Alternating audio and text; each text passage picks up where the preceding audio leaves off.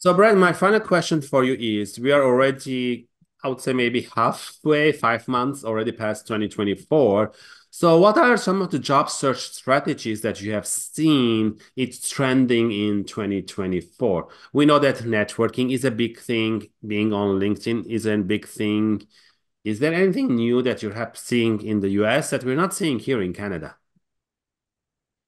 No, I, I think I think the probably the first thing that comes to mind when it when it comes to job search um, strategies is taking what is already mm-hmm. proven and effective um, that we know, like uh, networking, like LinkedIn, and being able to energize it or really create a lot of um, or even automating um, through the use of AI. Yes, uh, I think that's the that's the cool part and the really really exciting part of of AI is is being able to again not it's not a standalone solution. It's not the thing mm-hmm. that's going to solve all of your problems and and connect you to an opportunity. It's not going to do the work for you but it but it's such a tremendous tool in your tool bag to be able to take what already exists and mm-hmm. and expand upon it and make it more effective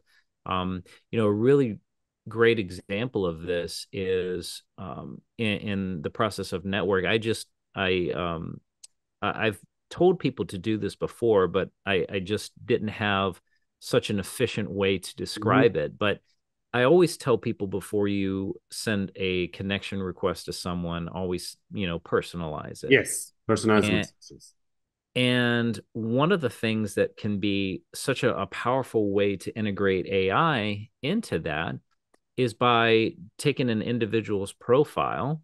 You can create a PDF from that profile or copy and paste.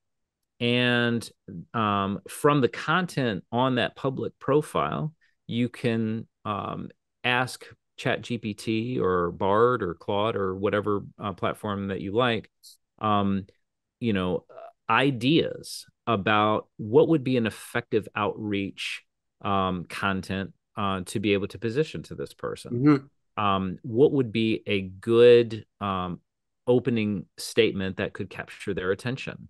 And obviously, if you're doing the the research, you'll be able to put, uh, pinpoint those things. It just it's a time saver, right? Yeah. It just allows you to be able to kind of think about things uh, in uh, a little bit more efficiently and creatively that mm-hmm. uh, that maybe you hadn't thought about. Maybe connecting this point to this point. Oh, I never haven't thought about that before.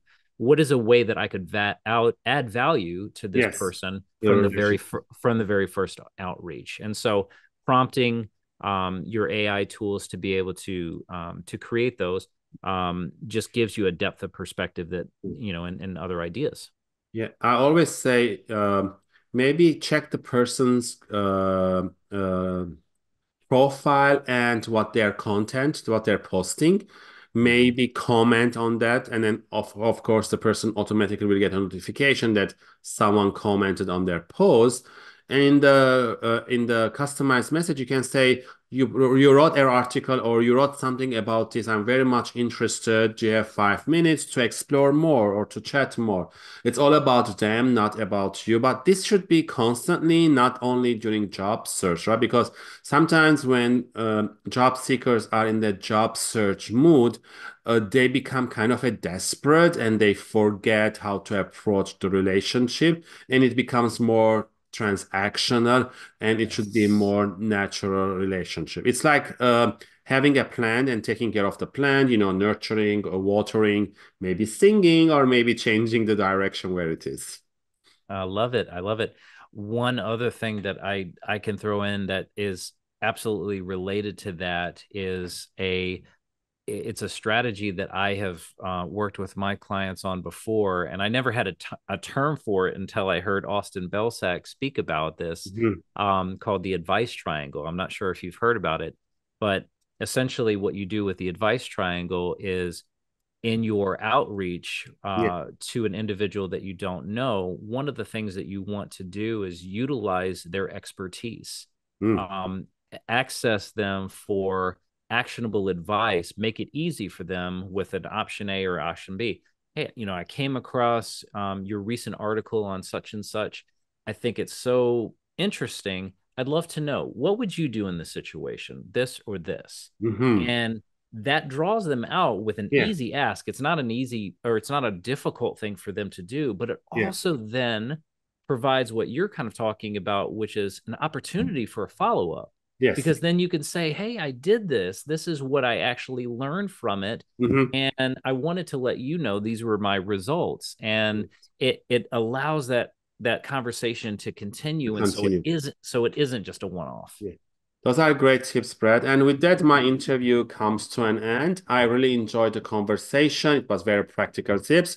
So for the audience, you can watch all the videos the whole week. You can comment, share, and if you have any questions, you can reach us to our socials. Again, Brad, thank you very much. And for the audience, tune in next time for another great guest. So for with that, bye everyone.